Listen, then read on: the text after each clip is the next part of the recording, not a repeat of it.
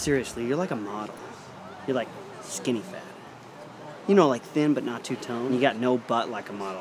You're just like poured into those jeans. You like the v-neck, don't you? Some people think it's gay. This crime could have only been perpetrated by one person. Pizza delivery guy? The cat lady. Let's go. Now that's what I call science. Kick ass, SB. Thanks, chum.